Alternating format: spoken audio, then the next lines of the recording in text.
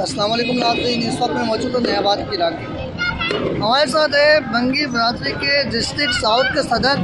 ہم ان سے جاننا چاہتے ہیں، چودہ اگست کے حوالے سے کہ یہ کیا پیغام دینا چاہتے ہیں۔ جی سر۔ السلام علیکم۔ چودہ اگست کے حوالے سے ہماری پوری برادری بھرپور نمونے سے اس کو شیئر کر رہی ہے اور بالکل منا رہی ہے۔ بھرپور نمونے سے۔ ہم پورے پاکستان کے ساتھ ہیں اور کشمیر کے حوالے سے جو کشمیر کے اوپر ظلم ہو رہا ہے انڈیا کی طرف سے ہماری پوری جماعت بھرپور نمونے سے اس کی مذمت کرتے ہوئے ہم بولتے ہیں کہ ہندوستان مرد آباد پاکستان زندہ آباد کشمیروں پہ ظلم کرنا بند کرو۔ بہت شکریہ۔ فوج کے حوالے سے کیا پیغام دیں گے؟ فوج ہماری بالکل بہترین ہے۔ ہماری فوج جو ہے شانہ بشانہ سرحدوں کو سنبھال کے کھڑی ہوئی ہے اور ہم بھی ان کے قدم سے قدم ملا کے کھڑے ہوئے ہیں۔ فوج کے ساتھ ہیں ہم۔ بہت شکریہ، شہزاد حسین، کیمرہ مین کے ساتھ آصف